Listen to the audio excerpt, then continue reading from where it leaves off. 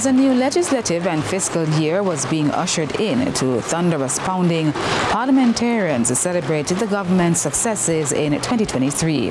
First up was the 10 consecutive quarters of economic growth enjoyed since the pandemic and a 4.2% unemployment rate, the lowest in the country's history since independence. Governor General Sir Patrick Allen was also quick to point out the upgraded BB ratings for the country in September 2023 by ratings agency Standards & Poor's and a record high net international reserve at the end of December. By any objective measure, Jamaica's economic performance has been exemplary and has caught the attention of the world.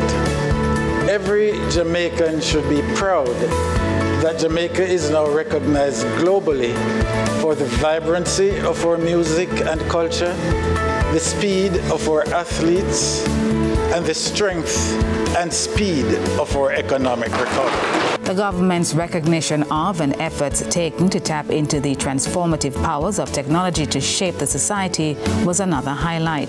Through the government wide area network and national broadband project, 14 parish courts, 8 police stations, and 14 municipal corporations, 49 ministries, departments and agencies, and 662 educational institutions and places of safety have been provided with dedicated internet access.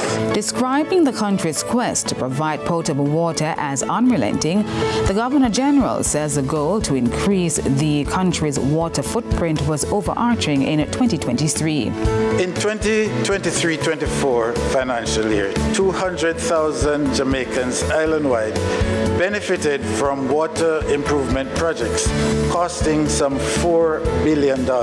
Successful was how the government's crime-fighting plans were described. The government's crime-fighting strategy has yielded notable success as Jamaica recorded a 7.8% reduction in homicides and an aggregate 11% reduction in all crime categories for 2023 compared to 2022. The infrastructural reforms to national security facilities were among reasons for the successes. Meanwhile, the healthcare sector has undergone the most comprehensive infrastructure improvement since independence. The government has broken ground for the modernization of the Spanish Town Hospital to offer a broader range of specialized medical services and has also made significant progress on the Cornwall Regional Hospital Rehab Rehabilitation Project and the construction of the new Western Child and Adolescent Hospital. In addition, the government provided 2,500 posts for doctors to expand primary health care and increase service quality. Employment by contract was eliminated and better working conditions were provided for hospital staff.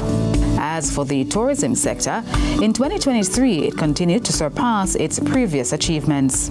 Jamaica welcomed a record 4 million 150,000 visitors, comprising 2,890,000 stopover visitors and 1,260,000 cruise passengers and generated some US $4.2 billion in revenue. Although the agricultural sector experienced challenges in the last year, there were still victories.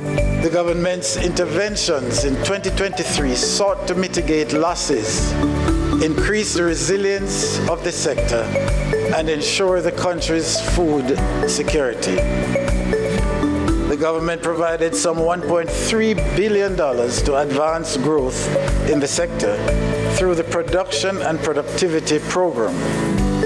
This yielded production of 777,000 tons up to the end of December 2023 the second highest level of domestic crop production in the country's history. Meanwhile, the electric vehicle policy, along with guidelines for energy efficiency and conservation in public facilities, especially schools and hospitals, were tabled in Parliament. Efforts to diversify energy sources for public passenger vehicles for the Jamaica Urban Transit Company received a major boost with the acquisition of five battery electric buses as well as 20 compressed natural gas CNG fueled buses. So for 2023, Jamaica made strides in its attempt to create a peaceful, productive and prosperous nation.